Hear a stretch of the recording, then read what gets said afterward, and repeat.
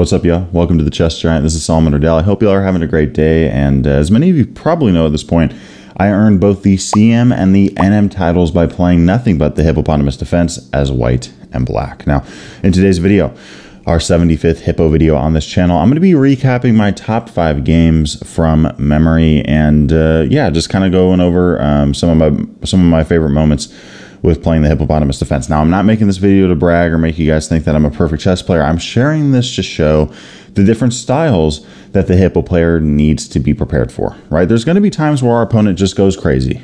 They just go crazy, and we got to play some defensive chess. Right now, this, in my opinion, doesn't take up a large majority of games. In fact, it's a very small percentage, in which case we got to play defensive chess, but it does happen. All right. Then there's also games where we play aggressive, fun, attacking chess, and there's also games where our opponent overextends and we have to take advantage of positional weaknesses. Right. So let's take a look at number five. I got my uh, my guy here, James Garland. I was playing as black. I'm just going to be zooming into the middle game, right, as we go over these five games. You guys know what we're doing. We're double fianchettoing our bishops. We're tucking our knights. We're getting six, you know, four to six pawns on these six. The rank, uh, much of the time, six pawns, and uh, we're going from there. Right. So here we got this position. Now, if I play a6, that actually gives me my full thick-skinned hippo, right? I got six pawns on the sixth rank, my bishops are being kettled, all the good stuff.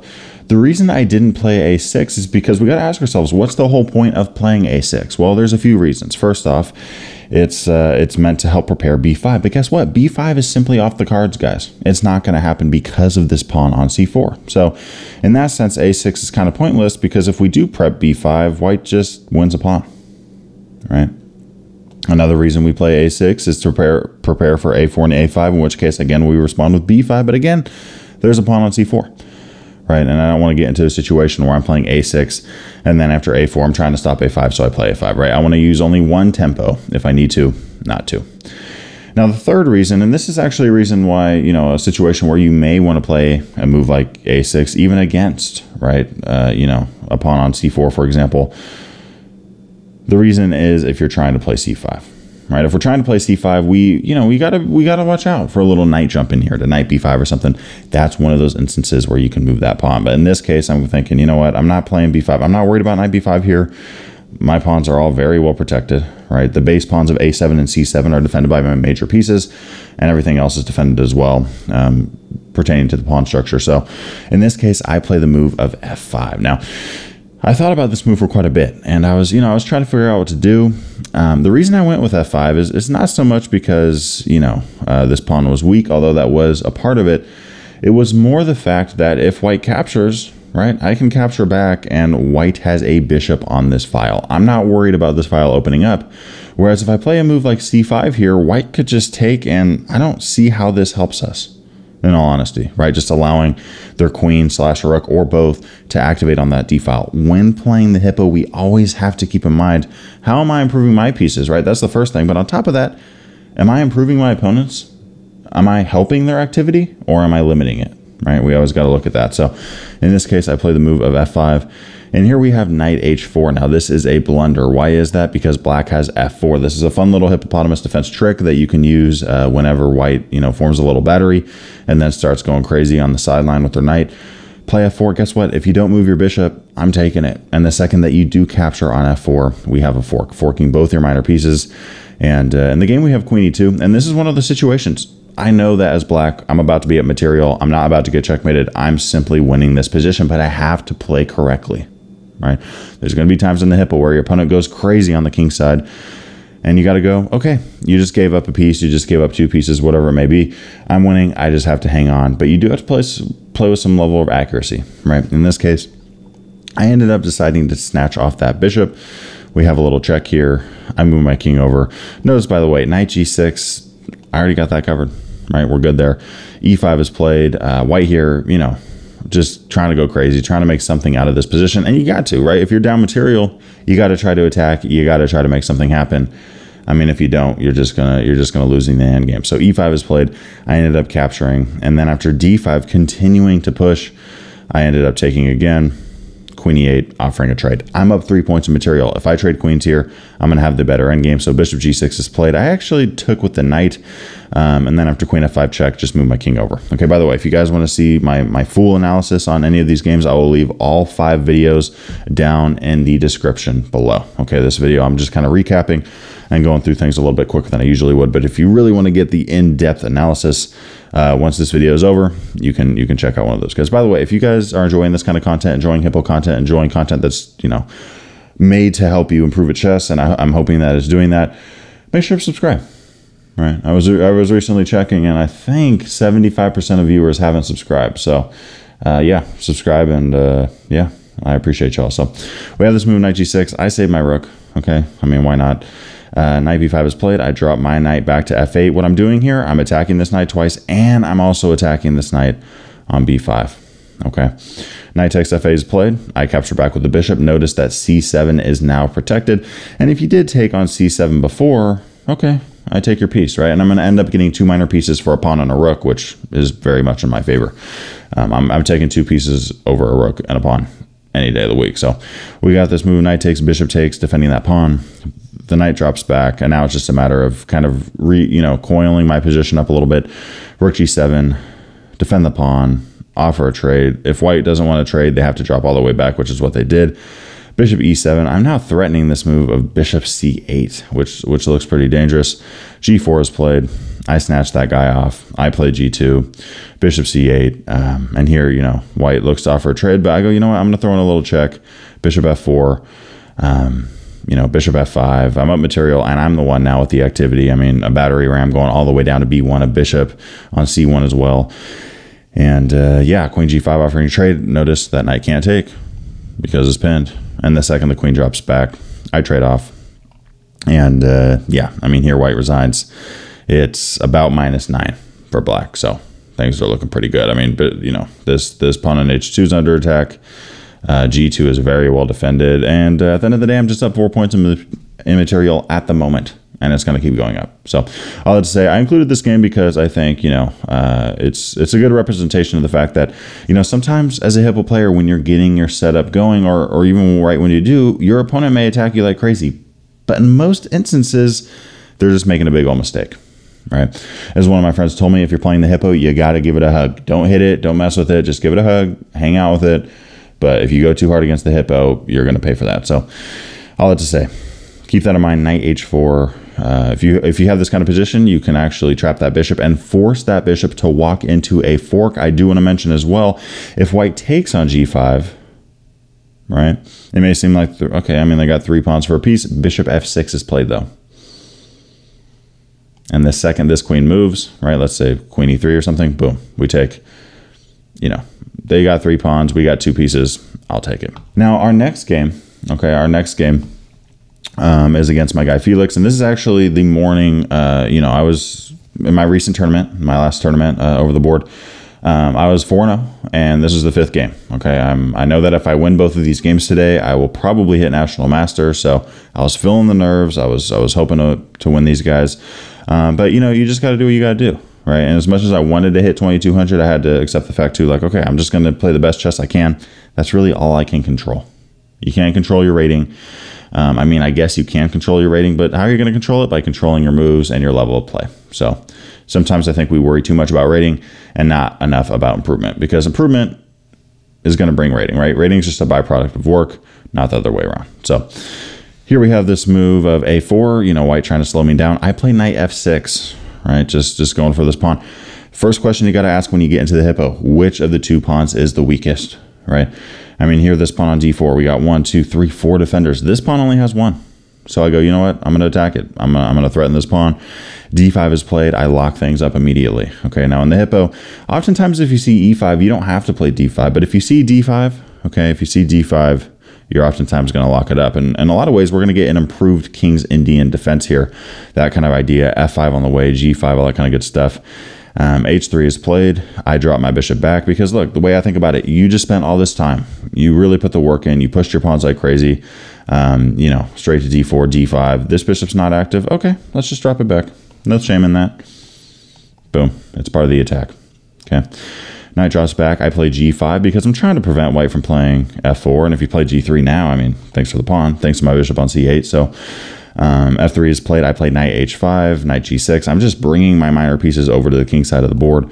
Bishop d7, you know, I end up going, you know what, let's just attack that pawn. Bishop e3, this is a great example of a great bishop and a terrible bishop. Okay, my bishop on d7 is doing an amazing job. It's on the opposite color of my dark squared pawns. This bishop, on the other hand, um, nearly all of white's pawns, seven of them, are on light squares. So this bishop is just babysitting a pawn. Mine's attacking it and doing more. And I just don't see much hope for this bishop. Now, my bishop is well right now, my dark squared bishop is a lot worse than their light squared bishop. But that said, as you'll see in this game, I was able to activate my dark squared bishop later. Okay. I played this move rook g8. This wasn't the computer move, but I don't really regret playing it. Um, just because you didn't play the computer move doesn't mean that you you know you didn't play a solid move. Sometimes it means you blundered, which I uh, which I do sometimes. But you get the idea. Rook g8. I mean, I'm I'm basically looking to open up this g file, and I'm preparing you know this to break open. So white goes, you know what? I'm going to step out of the way, and I throw my knight in. Bishop drops back. I continue to advance on the king side. Um, here I capture back with the knight. Bishop h6, right? And uh, okay, usually I would take away from the center in the hippo, but notice in this case, I don't have a bishop on g7, right? And um, this could actually result with white potentially playing e5 and busting open the center. I don't want that. So in this case, I take towards the center. And um, I think this is the key moment of the game, right? Because I think most players would want to beat black here. I mean, we have an open g file, right? This bishop's active, the queen's active. The question now is, is what do we do? And I have to give my students this position and I ask them what they would do. And sometimes I'll actually let them play as white. And uh, as white, I, as black, I'll just go back and forth. Right? I'll just move my king around, blah, blah, blah, see what they do. And it turns out white really doesn't have many prospects here in terms of uh, opening up this position. Let's just look at the pawns, right? We got eight on eight pawns. Can white find a break? That's the first question. Well, if you play a5, I could always lock things up right? None of these pawns can move. I mean, okay, I guess technically you can move these two, but I mean, if you move this guy, what are you doing? If you move this guy, thanks for the pawn right away.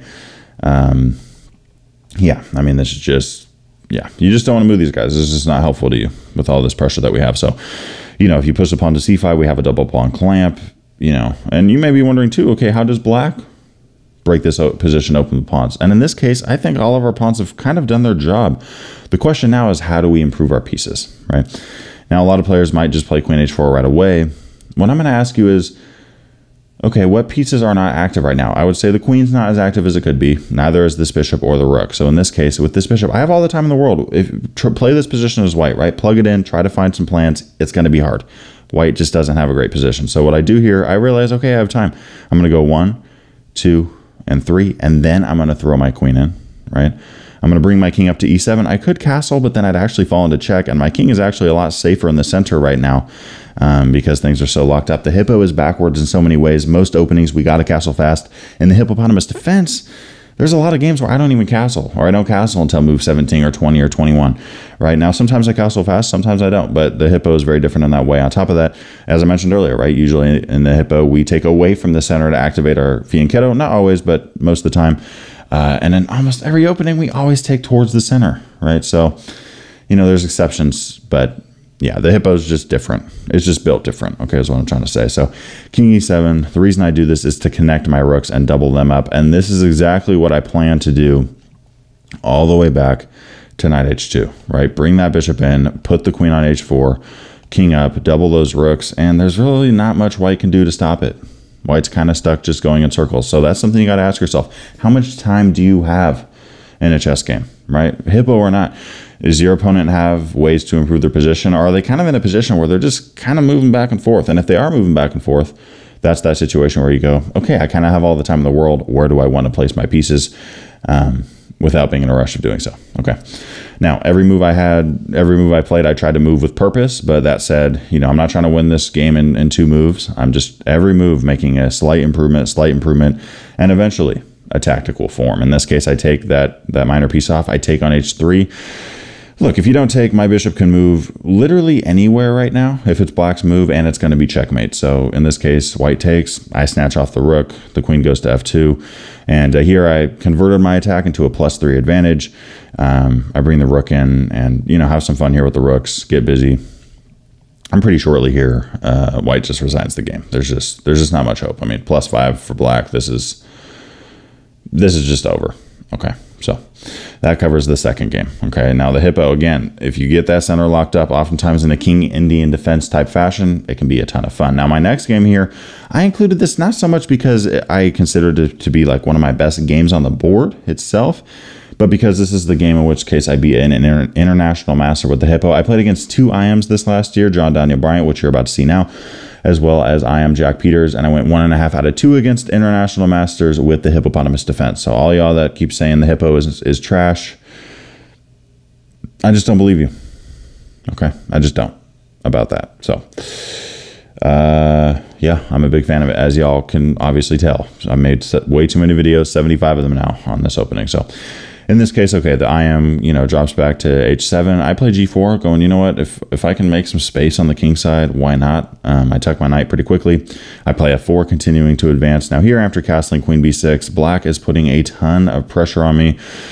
So in this case, I go, you know what, I'll play d4, right? I'll cut that, I'll cut off the activity of that queen we have we have capturing on a four here, and this is kind of an interesting position, like very hyperdynamic in the sense that okay, e5. I mean, this could be a great spot for one of my knights. e4 could be a great spot for one of their minor pieces, right? Based on the pawn structure. Right now, I have some good space, and a move like g5 could be fun at some point. But at the same time, I got to be careful about this f pawn because of my knight, right? So you know, I think in this case it gives about a minus 0.9 advantage to black. Again, one of the reasons why I don't think on the board this is one of my best games. But I mean, 0.9, it's still a game, guys. All right. Now, once you get to two or three, it, it starts to, you know, oh, we're in trouble here. But, you know, if you're not even minus one yet, you're still in this game. Okay. Now, rook f8 is played. I continue with c4, looking to potentially fork.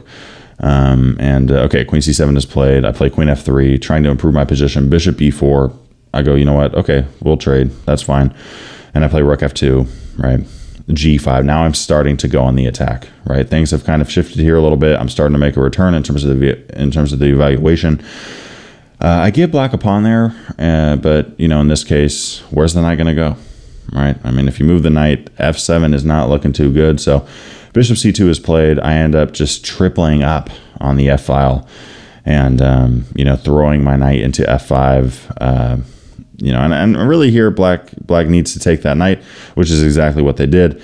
I end up taking back g6. I drop my queen back. We trade. Right now, guys, I'm minus one. But notice, right, this has been going on for quite a few moves now. This knight has been attacked, right? I mean, going all the way back to move 21. Notice how many moves that knight was attacked. Right? Quite a lot. But black kept making threats, kept making threats against my rook, against my queen, all that kind of stuff.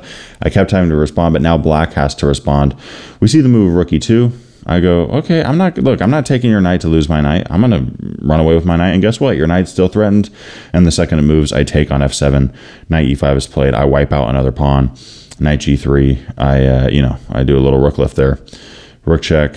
You know, knight goes back. I just start trading. Like, at this point, guys, we got to trade down. And, uh, yeah, I mean here, uh, you know, knight c3, knight 3 guys. I'm not gonna lie, I almost played king g2. That would have been absolutely just sad. You know, I mean, rook g1 would have been made. Thankfully, I saw it at, you know, played king g3. Uh, but yeah, the rook comes over, and at, at, a certain point here, we actually went into time trouble. I don't even have the whole game recorded, but I ended up taking on e4. Um, rook check. I mean, block. Why not? Right? Block. Trade down. King goes up. Um, and I just keep making progress here, surely but slowly. Rook d7. It looks like I'm offering a rook, and I kind of am, but then I just, I, you know, I have the ability to throw in that fork, which is nice. The rook runs away, throwing a check, and um, yeah, here I was up three pawns and ended up converting this into a win. Now, this game actually goes back a couple of years. In fact, the first day that I decided to play the Hippopotamus Defense. Um, this is my third game in the tournament. Game one, I lose against a FIDE Master. I actually got a pretty good position with the Hippo, but ended up fumbling it away because I, I, wasn't, you know, um, you know, at the time, right, I was still growing in my understanding of the hippo. I'm still trying to do that today. Round two, I beat a 2100 with it. Now I'm playing another 2100 with the hippo. And as you can see here, white did not play e4 and d4, which is usually what we see, right? We usually at least see a two pawn center, maybe sometimes a three or four. In this case, we only have one pawn on e4, but as you're going to see, white tries to pull off this move of f5. I play knight b6, tucking this knight right away and uh, playing c5 i'm like look if you're going to give me space i'm going to take it. If you have your pawns here i'll play c5 if you had your pawns here oftentimes you can play f5 right depending on where your opponent's minor pieces are placed. Um, but in this case i'm thinking okay let's take up some space. F4 is played i tuck my queen to c7 out of the way of that d file and uh, after knight g3, I play d5. Here I'm threatening to play the move of d4. White stops this by playing d4 themselves.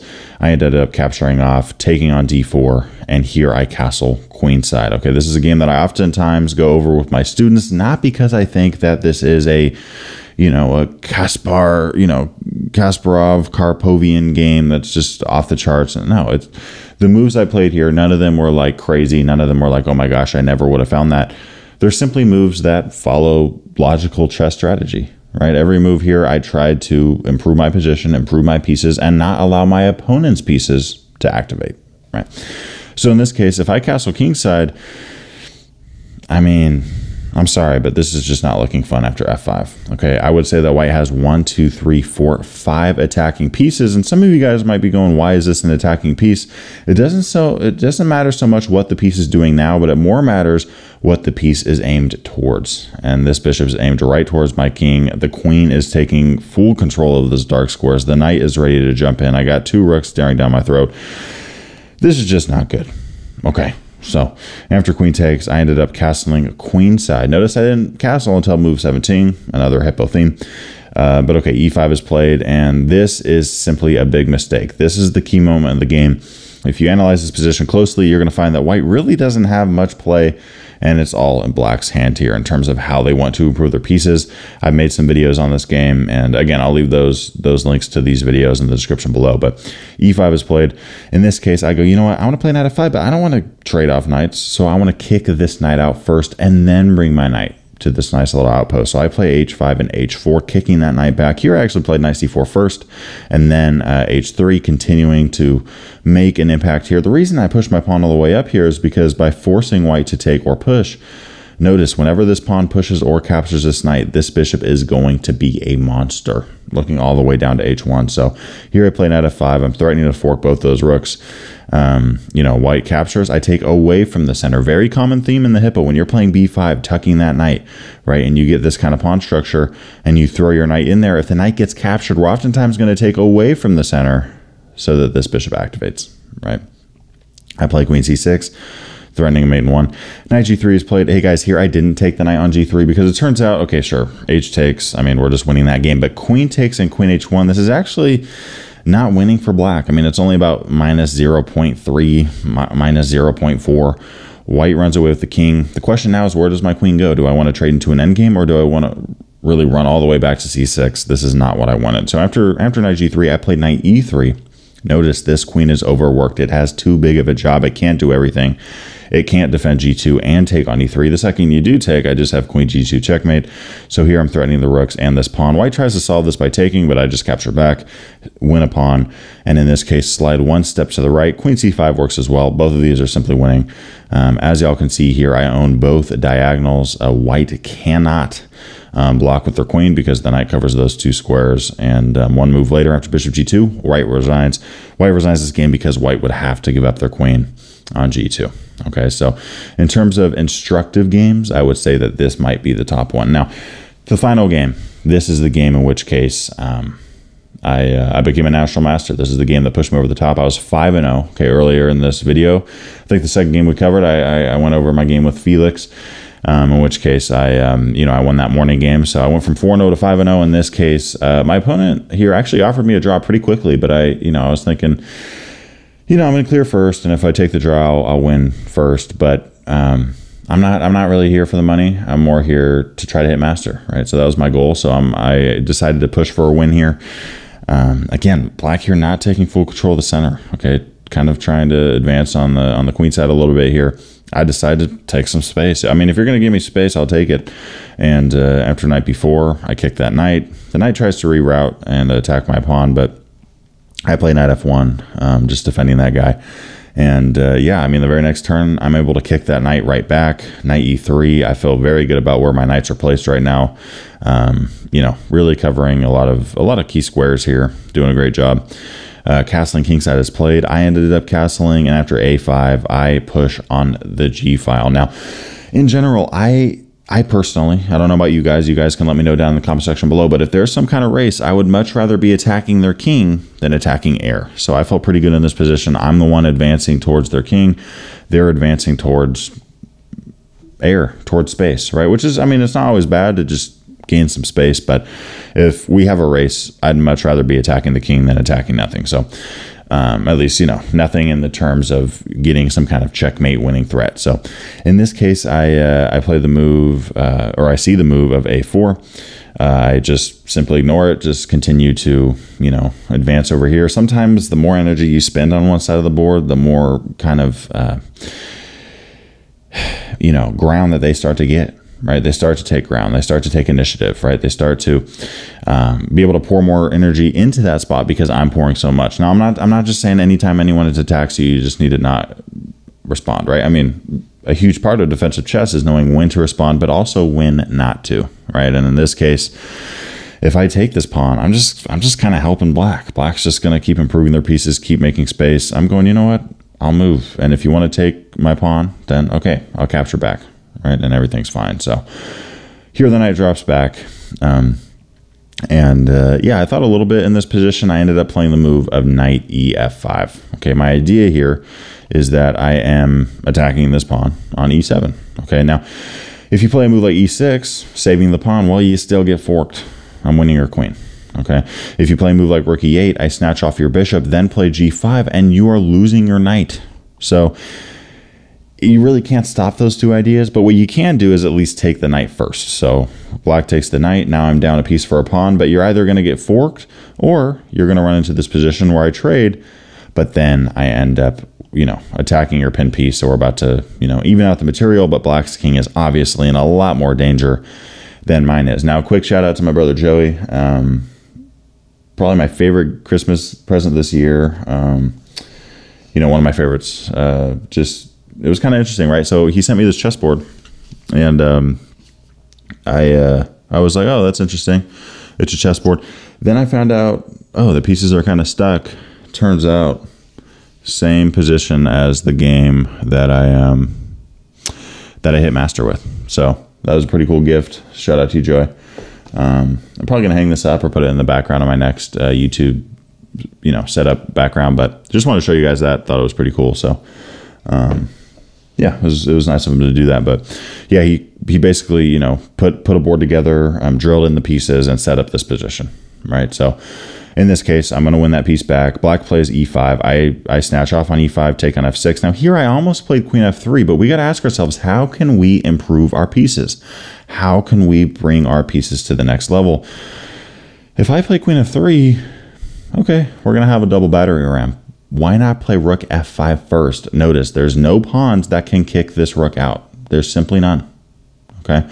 Now, if you play a move like bishop d7, I'm just going to snatch off that pawn. I mean, white's simply crushing there. Okay. So why not improve this rook first, then bring the queen to f3 and form a triple battery ram against this knight?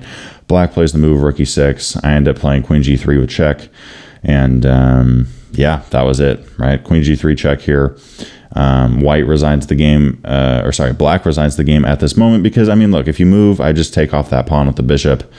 Um, this is around plus six for white. Uh, I can't even, I mean, what do I even say? There's just so much going on here. So much is under fire. And um, yeah, I mean, if a move like rook takes, we could even take on f6, attack the queen, you know, keep trading down. Um, you know, take the rook. By the way, in that in that position, you could take on f7. Absolutely nothing wrong with that. But also, I mean, if you take this rook, guess what? The queen's still pinned. Okay, sometimes it's good to ask, okay, wait, if there's a piece is if if a piece is pinned, can they get out of it? Right? And in this case, there's no way for black to get out. So there's in a weird way, there's really no rush for me to take that queen. Um, and okay, we're gonna get the queen anyways. Tons of threats here on the board. Um, you know, I mean, for example, we're threatening the rook and we're threatening to fork the bishop. If the rook defends the bishop like this, okay, queen f5, guess what? We just forked the rook, right? If the if the rook comes to b6, um, guess what? We just forked the rook. So basically, you know, once we see queen g3, the game is over there. But uh, but yeah, I think the key moment of this game was knight ef5, right? Realizing that black kind of ignore they, they they spent so much time pushing on this side of the board that they ignored their king safety specifically this pawn on e7 that gave me time to play knight f5 um, black had to defend that guy. And then once once i saw that i, I ended up taking playing g5 um, and uh, yeah soon trading off throwing my rook into the best square it could find tripling up on that file. And uh, yeah Black resides pretty soon after. So let me know uh, out of these games which one uh, you uh, kind of reside the most with, right? And, and, when you're playing the Hippo, right? Are most of your games crazy attacking chess? We saw that. We've seen, you know, the first game, in which case I kind of had to go, you know what? Okay, you're going to give me material. Cool. Now I got to hunker down, defend, trade, and go into a one end game. Um, we also see games where, right, like against, uh, you know, Joshua Allen Harrison, right? The second game, uh, you know, the second game, second to last game, white pushes like crazy. How can we kind of find cracks in the wall and improve our positional chess, right? How can we improve our pieces without letting our opponent improve theirs? So let me know what which of these games you like the most, um, as well as if you have any questions about these games. And again, if you want to look at them in more detail, I have all of the links down in the description below, so you can go check any one of them out individually if you'd like to. Also, let me know what your experience with the Hippo is and uh, let me know if you have a favorite game that you've played with the Hippo. And if you do, make sure to comment it down below or email me at thechessgiant at gmail.com. Appreciate y'all. Thanks for watching today's video. I wanted to give a big shout out to my Patreon supporters for the month of January in 2023. If you haven't thought about becoming a member yet, I highly encourage you to think about it. You get some exclusive benefits by becoming a member and joining the family. And uh, yeah, it's been quite a bit of fun. We're growing a base here, and I hope to see you there.